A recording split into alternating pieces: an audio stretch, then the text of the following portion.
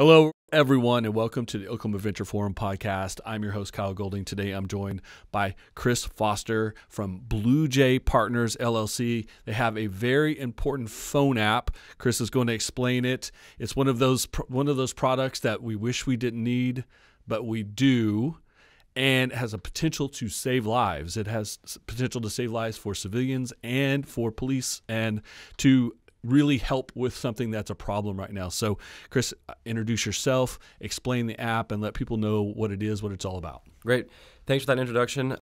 Yes, my name is Chris Foster. I'm 26 years old, born and raised in Oklahoma City. Went to Casady School for high school, and then went to OU studying advertising, where I graduated and became a manager at Lululemon, which is where I currently work now. Supplemented with that is the creation of Blue Jay Partners LLC, which is been like a side hustle kind of, but now it's you know manifesting more into my full time gig. Hey, so that's how that's a good way to start side sure. hustle. Yes. Yep. So um, I'm really excited to get started. Um, we're very close to the end, so um, looking forward to getting that launched and making that my everyday thing. So explain exactly the, the tell everyone the name of the app and what Okay. it, the function that it that it provides. Gotcha. So the app is called Blue Jay, which some background behind the name of Blue Jay is when we were starting this program or app, I should say, we were wanting to have something that was, and what I'm most proud of actually would be how we've able to form this app to be what I call like the Switzerland of apps because it's a perfectly neutral app. Because that was one of the things that we had to address when creating Blue Jay was you know, most things that are associated with police, you're either on the police side or you're on the opposite side of the police. So Sure. We wanted to not come across as an app that's made to, you know, incriminate police and we didn't want to give a platform for people to just, you know, bash on the police. So a lot of the history and, you know, start of Blue Jay was just figuring out how to come in on a neutral ground. And that's where the name Blue Jay comes in because of all things, the blue jay bird perfectly represented exactly what we're trying to do. And the blue jay bird is not seen as a bird of malice. It's just, it's a pretty bird, but blue jays, the bird, they have a tendency when they feel, you know, under pressure or attacked, they come together to, you know, address what's happening. So, like, whether it be, you know, just natural selection or something like that, the blue jays come together and they, like, become one voice essentially. So, you have that being kind of like the the background of the project, and then you also have the blue tide of police. So Sure, you kind of right. have they came together, and it was perfect, That and it sense. just sounds really good too. So, what exactly it is that Blue Jay does is it's the first preventative measure in policing. So currently we have body worn cameras, which were supposed to you know solve the problem, but you know lots of different city officials here in Oklahoma, like Craig Freeman, he said that body cams didn't necessarily fix the problem. And then you just hear that, you know, countrywide, just people saying like we thought body cams were the answer, but really they're great for after the fact and they're great for like accountability purposes. But what's continuing to happen is the incident is still happening to where the body cam footage needs to be, you know, accessed. So and the civilians have no no benefit from the body cam. Like you said, they, Right. they they probably don't even know officers have it on most of the time, right? So they have they have no play in the body in, in having the body cam on Yep. on the officer. which it is a citizen's right to ask the officer if their body cam is on too. So just a little fun fact. So Blue Jay is, you know, trailblazing the space of preventative police measures because, you know, that's exactly what Blue Jays intended to do is to prevent all of that, all the stuff happening afterwards from even needing to happen. So, what it is exactly that Blue Jay does is it allows the driver and the police officer to communicate with each other before the interaction. So both parties have a chance to humanize themselves because through our research, the one thing that we learned from both parties is they just don't have enough information on each other Sure. because the police officer doesn't know who's in the vehicle and the person in the vehicle doesn't know the police officer that's pulling them over. So immediately there's just this heightened amount of tension between the two because they're when like when the red and blues go on, right? Everyone Exactly. gets really tense. and then, unfortunately, when those red and blues go on, rather than just being like, "Oh, I was speeding," most people, you know, refer to what's being portrayed on TV, and it's just like you see shooting after shooting or body cam video after body cam video of someone being forcefully taken out of their car. When in reality, that could just be, you know, a one percent or two percent of police where that's happening, and that's speaking for the entire department. So Blue Jay, that's actually also what we're trying to, you know, bring to light and change the narrative in the sense that that doesn't always happen. That's just what grabs views on the major news broadcasting stations. So you get pulled over.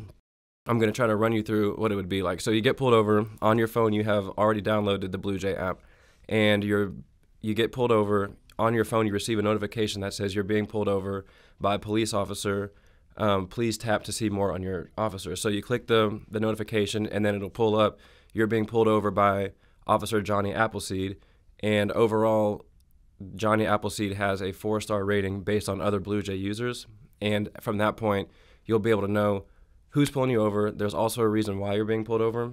And so you sit there in the car and you're like, oh, yeah, I guess I was speeding. And just having that information on the officer, we found that people, you know, that's all it takes to de escalate the situation, just knowing why I've been pulled over and maybe who's pulling me over. On the other side of it, the officer receives your Blue Jay profile. And the Blue Jay driver profile is what the app does. It creates your profile. And that's probably the most paramount feature of the app is your profile. So in your profile, um, you will volunteer, you know, humanizing information about yourself. So your name, um, how you identify, occupation, your first language, any disabilities or things that the officer may need to take into consideration if you're behaving a certain way when you're being pulled over. So the profile just allows the officer to make a more tailored approach to who they're pulling being pulled over because we could go through story after story about an officer pulling over and misdiagnosing someone having a diabetic episode because they very much resemble an intoxicated driver. Right. So if the officer were to know that this person is diabetic, they could potentially not have this situation become escalated and at that moment the police officer can also, you know, drop their attention because they're like, okay, this person may not be intoxicated. It says on their profile they're diabetic. So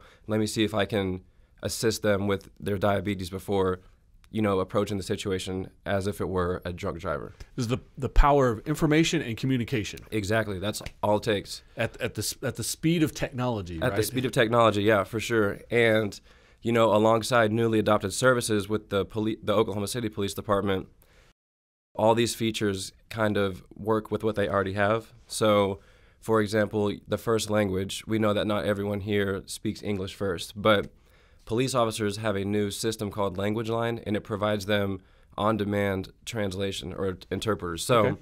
if on the profile the person says that they have, you know, like a, a vision disability or they're something like they maybe they have ASL, they speak in sign language, the officer can immediately refer to this language line and get an interpreter on scene with them so then they can provide a better experience and a more tailored experience towards this person. So and understand that maybe if they don't listen, to, they don't hear commands, or they don't uh, do what they normally expect from from someone because they can't hear, or maybe there's some other impairment, right? That they can be they that that they don't think it's suspicious. They right. understand what's happening. Yeah, and just because like current operating procedure is, you know the officer gets to the car and then they see, oh, this person speaks in sign language. So like the person will have the little card up against the window to say like, hey, I speak in like triples or like if I'm speaking a certain way, it's because of this. So the officer doesn't know any of this until they get there. And some police departments, as archaic as it may be, communicate with people who speak sign language with a pen and paper. They'll hand it over and they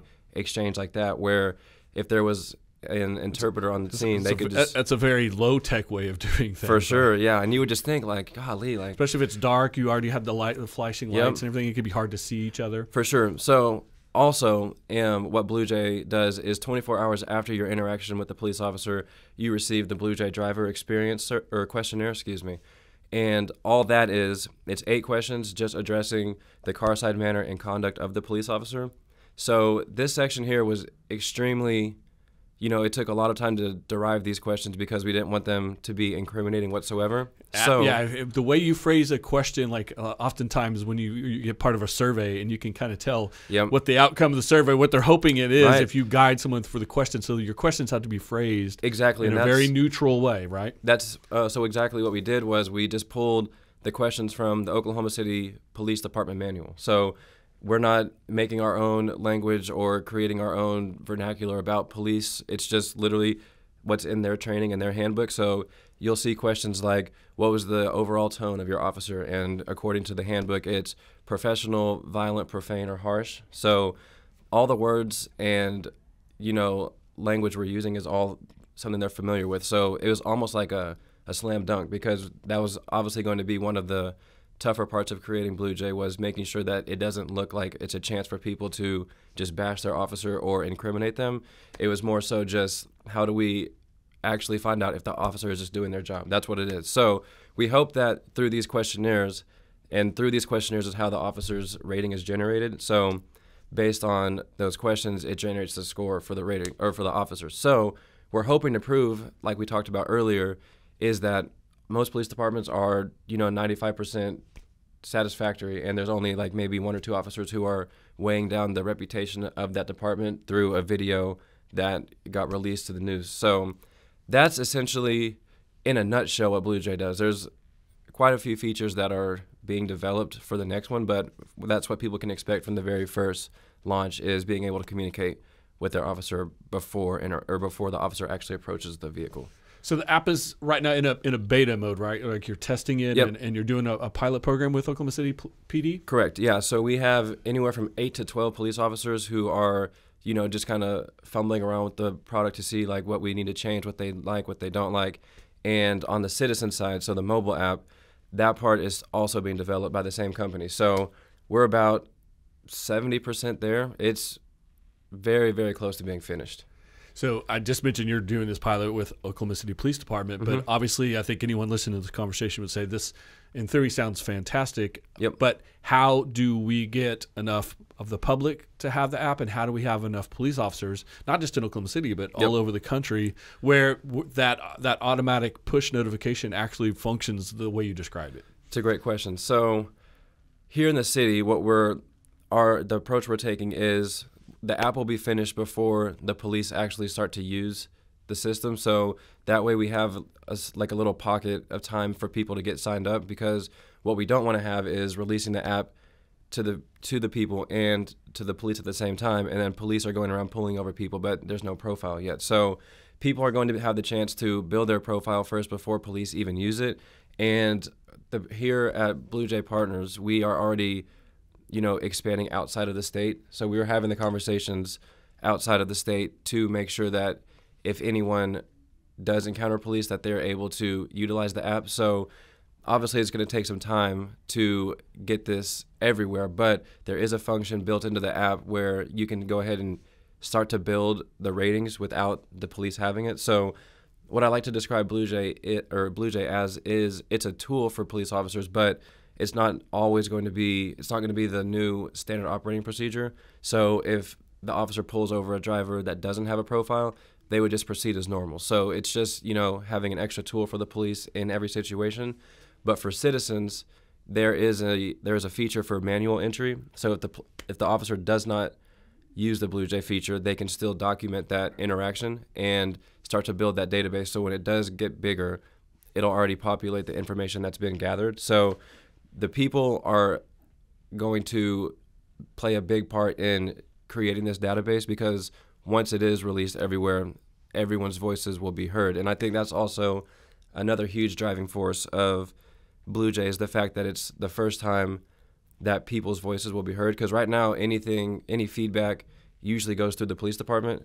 So, and I'm not a police officer, so I'm not sure what gets done with it. I can only speak And I think the general know. public doesn't know, right? But we Yeah. have, we have no idea how they handle that. Right? Exactly. So through my research and talking to police officers over the past year, formal complaints come in extremely often. I mean, they're very common, and there's just stacks and stacks and stacks, and they're all written too. So trying to manage the formal complaints along with doing their job and being out in the field, it is tough. I will say it is tough for police officers to formally address those complaints.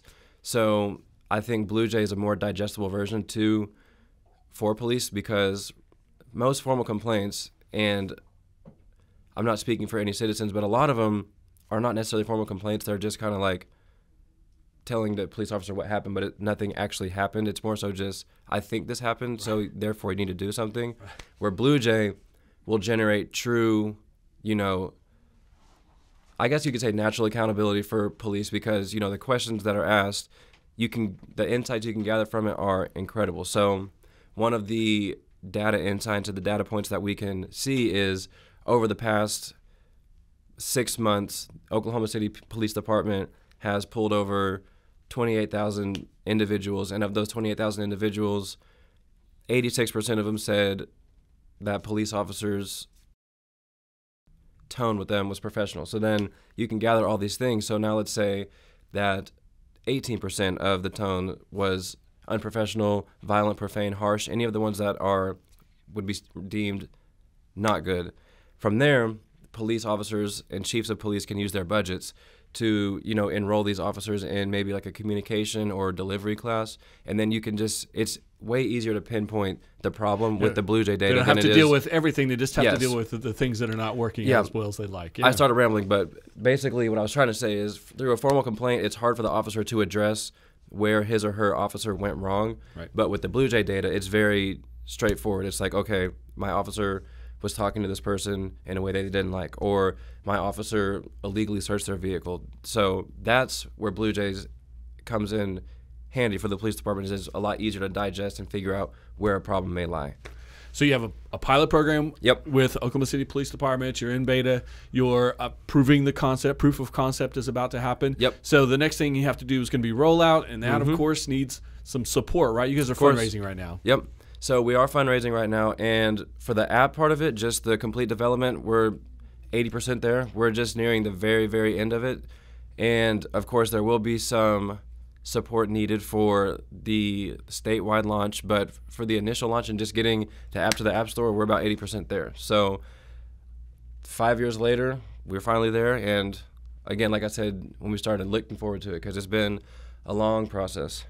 So if this sounds like uh, an interesting concept that you would like to get behind, more information from from Chris or the other folks involved at Blue Jay, uh, their website is bluejayllc.net. Correct. And of course, if you're an OVF member, you have access from your membership on the OVF website because Chris was uh, was a presenter for one of our power lunches recently. So if you're a member, you already have access to him. If not, you can hit him up through bluejayllc.net, not a .com, not a .net. So check that out. It'll be interesting to see how this develops. Like I kind of said in the introduction to the conversation, it's a product that none of us necessarily want to have uh, the need for, but the need is there, and so the potential for it to be beneficial and to if if it can save even one or two lives, uh, it's going to be something of, of great success, Yeah. and the potential to help reform, develop policing, and better interactions with the public coming out of Oklahoma City. I think is a fantastic thing for us Yeah. in Oklahoma. It's the it's the new OnStar, I guess you could say, the new updated OnStar. That makes that makes a lot of sense. I Yeah. like that. And just speaking with police over the past year, you know, we've made it all the way up from patrol officers to lieutenants to even uh, Chief Gourley, and he was the one that recommended. He was like, "I would love to see this on a statewide level." So he's the one because we had always imagined it going statewide, but we're not going to be the ones using it on his side. So to hear that confirmation was extremely encouraging because now we are taking that approach to trying to get it, you know, released as a statewide initiative because, you know, that would just be for the state of Oklahoma. It'd be uh, really cool to see our product released as something intended to help all citizens rather than just a small community here and there. Right. So you had an idea. You created a, a side hustle to Yeah. try to figure it out. Now it's a startup. You're fundraising. Uh, you're, you're getting you're getting your MVP all together. You're you're about there. Yep. I'm really curious to hear because every every podcast episode we end with this question. I'm really interested to hear your perspective on some advice you would give other Oklahoma entrepreneurs about this process, things you've learned, etc. I would say to take action. So for me in today's generation, we're in a very digital age. You know, people tend to, you know, feel like they're playing a part by. We'll just take for example, like during the, like a Black Lives Matter movement. You know, you saw that trend of people just posting a black square. Right. So and that was enough for someone to feel like I did something. But for me, you know, I I have like an inner an inner hunger to actually make some change in my life. I get it from my mom. She's worked for the city for 30 years, so it's kind of just been embedded in me to do something bigger. And if you have an idea that you think will help or you think it's something that's necessary, take action because nowadays it's tough to take action because a lot of things can be done digitally. A lot of things can be done remote. So I think if you have an idea, get your feet on the ground and it might be a long process and founder burnout is definitely a thing but if you can get over that i definitely think you'll be you'll feel fulfilled in the very end. That is some fantastic advice. Young entrepreneur Chris Foster, president and founder of Blue Jay. The app is going to be out to the public soon. We're Yes. looking forward to it. We Mhm. appreciate you speaking to OVF recently. We Appreciate you being on the podcast today, and definitely appreciate that bit of advice. I think that's fantastic for anyone to just think about. Right? If you have an idea, it's all out there. The potential's out there. Just just go do it. Right? Yep. It's like Nike said, it's- it's only crazy until you do it. there you go. Thanks so much, Chris, for of being course. on the podcast. Yeah. Thanks for having me.